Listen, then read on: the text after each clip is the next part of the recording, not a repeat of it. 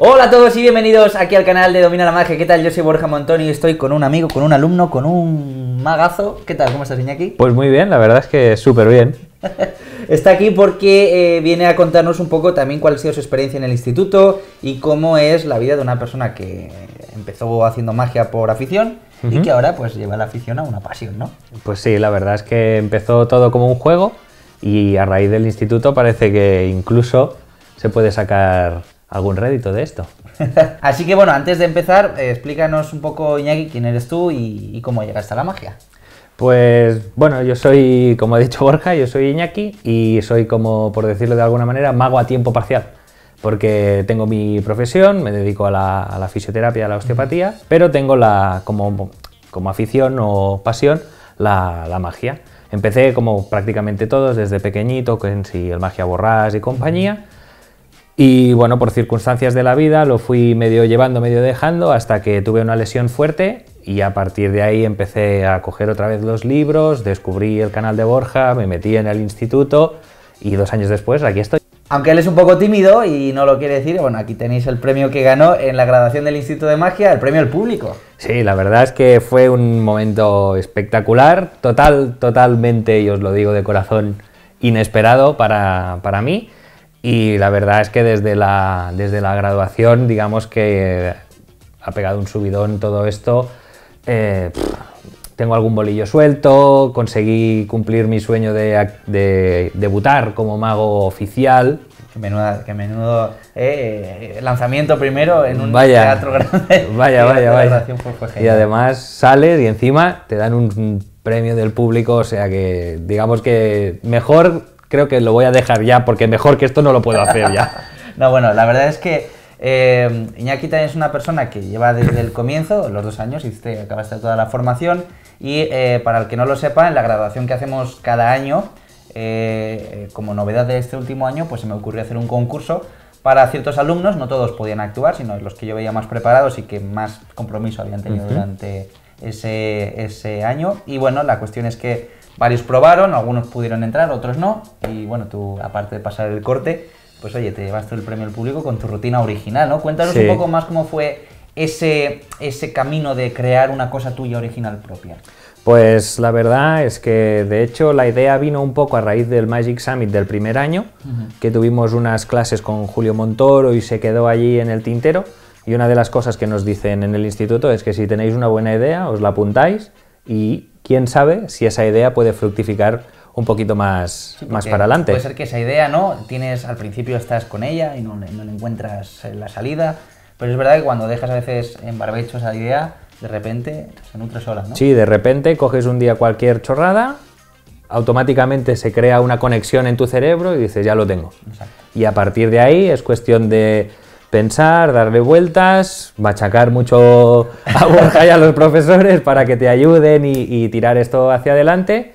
Tuve la suerte de estar entre los ocho que pudimos actuar y tuve la súper suerte de que la idea gustó y me dieron el premio. Así que, ¿Y ¿Cómo, ¿Cómo has ido manejando tú estos dos años de formación en el Instituto de Magia? pues la verdad es que estos dos años se han pasado súper rápido. Estás toda la semana con las ansias de que llegue tu día, que se te libera la clase para ver qué te traen esta semana. Y cuando no se liberaba por cualquier cosa, Y cuando no "Oye, se Borja, ¿dónde está la liberaba, clase?". mensaje a Borja, Facebook, eh, email a soporte, oye, ¿qué pasa? No, se nos ha caído no sé qué, pero mañana lo tenéis, vale, vale, no pasa nada. Como agua y de mayo, también, lo estabais exacto, ¿eh? y, da- y también crear la, la familia, que realmente lo que hemos hecho es crear una pequeña familia del Instituto de Magia, que estamos en contacto permanente mediante el grupo de Facebook, mediante WhatsApps, Instagrams y todo eso, hemos creado una red. Oye, estoy practicando esto, ¿qué os parece? Que sí, que no. Y tienes como un segundo backup de, de los profesores y de los compañeros. Sí, y al porque no final- solamente se enseña con maestros, que también, ¿no? Los maestros son muy importantes, pero al final también rodearte de gente que, que esté en tu misma sintonía. Porque aquí en el canal somos mucha gente y hay gente de su padre y su madre, de todo el mundo, de todas las partes de, de la tierra. Y al final es más difícil, ¿no? Generar círculos. Pero en el instituto, claro, es que al final estás en una comunidad muy cerrada, muy exclusiva, por decirlo Claro.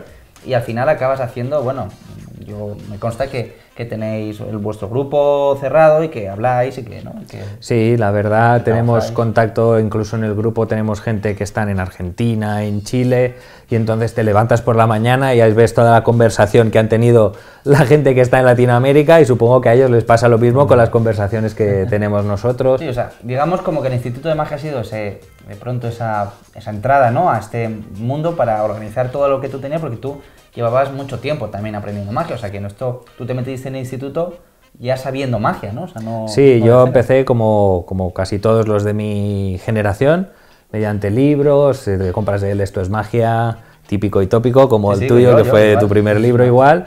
Y llega un momento que aprendes muchas técnicas, pero que te quedas estancado porque no consigues que tu magia se perciba como magia, sino como algo curioso, como un truco, ¿no? O sea, que oye, no, se te ha visto un poco... sí, no sé qué, ah, es que esto tienes por aquí, esto no sé qué, y al final te, te quedas un poco deprimido. De 10 años te digan eso. Exacto, dices y descubrí, a raíz de querer aprender cómo se lanza una carta para arriba, descubrí a Borja, salió el, instituto y bueno, me hice un poco el remolón, pero después me metí a tope con ello y hasta el final. Y es de las mejores cosas. Hiciste el remolón porque pasó lo que he dicho justo antes del inicio de este vídeo, que dejaste pasar la oportunidad de meterte y al final la Sí, la verdad es que sí, dejé pasar la primera oportunidad de la oferta de lanzamiento, yo estaba suscrito al, al, newsletter de, de LM y tal. Lo dejé pasar porque no sé si sí o si no, y a la que volvió a salir otra oferta, que tuve suerte, que no tardó mucho, pero Cogiste, cogí, cogí al vuelo y para adentro hasta el final. Qué guay. Pues a mí me alegra que, alumnos como él, y tengo alumnos por todo el mundo, de hecho la graduación vinieron gente de Ecuador y de, Perú a, la graduación para que les pusiéramos el pin y les pusiéramos, eh, les diéramos el diploma y todo, la verdad que ese día me, me gustó mucho, pero yo creo que lo que más valoro de vosotros también es que ahora es como ha sido como el Instituto de Magia, ha sido como esa primera gran escuela para que ahora vosotros también continuéis. Cuéntanos un poco cómo es ahora tu día a día, o sea, qué pasos ahora, cómo te sientes tú después del Instituto de Magia. Pues la verdad es que después del Instituto de Magia he conseguido entrar con, otra, con otro profesor a seguir dando clases, a seguir formándome, a seguir construyendo mejor la magia. Mucho más profesional. Mucho más, sí, un poco vamos, el, Instituto de Magia es el, punto de partida. Exacto. Que puedes volver a revisar todas las clases que tenemos y eso siempre te va a dar mejoras. Y a partir de ahí hay que seguir añadiendo más conocimiento, más construcción, más técnica, más teoría. Y es lo que va a hacer que poco a poco la magia que tú haces suba de nivel. Y la gente alucine pepinillos con los, los, juegos y los efectos que tú les, les propongas y siempre se ha dicho ¿no? que, el, que, el, conocimiento no ocupa lugar. Y en el caso de la magia, bueno, lo que ocupan son las barajas y los libros, pero realmente saberlo no, no ocupa y es súper recomendable seguir pues formándose. Y bueno, para el que, el que no lo sepa, aquí tiene también un canal, un, canal, un blog, vamos, un, sí, un, blog, exacto. escrito. Cuéntanos un poco de este proyecto. ¿Por pues por qué lo empecé, de hecho, con unos amigos estaba hablando de, ostras, pues no sé si empezar con un canal de YouTube así de magia y tal. Y me dijeron, ostras, canal de YouTube yo no lo veo. ¿Y un blog? Eso lo veo más. Y empecé el día de mi cumpleaños con mi blog de magia con K.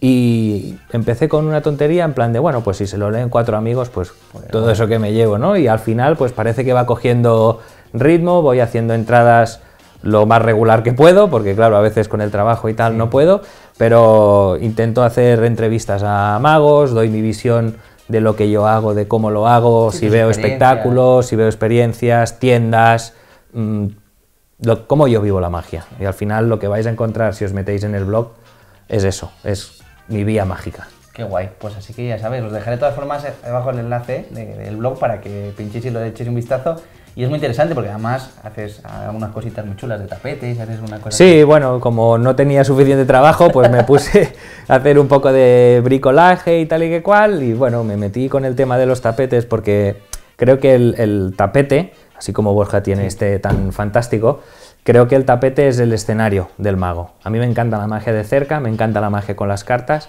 y tener un tapete que marque un poco la diferencia, creo que te da otro nivel. Más que el tapete verde típico y tópico que tenemos todos en casa con el redondel de dejar la Coca-Cola encima. Tener un tapete. Exacto, exacto.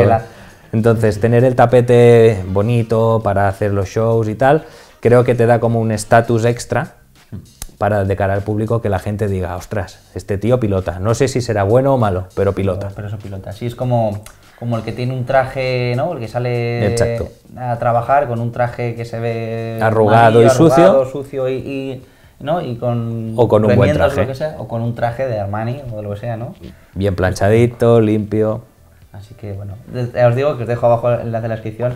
Pues muchas gracias, Iñaki. Espero que os haya gustado esta mini entrevista que hemos hecho. También para que acer- para acercaros que mm, eh, las personas que están arrancando ahora en el mundo de la magia, que podéis conseguir llegar a tener hasta premios, ¿no? Si, Vaya. Si, si, me- si lo trabajáis y os esforzáis, pero sobre todo que, que, mm, personas como tú que nos estás viendo podrías estar aquí eh, dentro de muy poco tiempo, porque Iñaki empezó pues lo mismo, sin conocerme de nada Vaya. y, y al final pues ha conseguido grandes cosas en la magia, así que... Y dos años después, aquí estoy. Así que espero que os haya gustado este vídeo, esta entrevista. Si os ha gustado, dejad un me gusta y un comentario eh, comentando qué parte os ha gustado más o con cuál os identificáis más. Y eh, nosotros os dejamos aquí también por aquí los enlaces que hemos dicho y sobre todo un nuevo vídeo para que veáis si estáis acabáis de llegar al canal. Así que así os podéis suscribir después si os gusta este contenido. Nos vemos en el próximo vídeo y que la magia os acompañe. Adiós.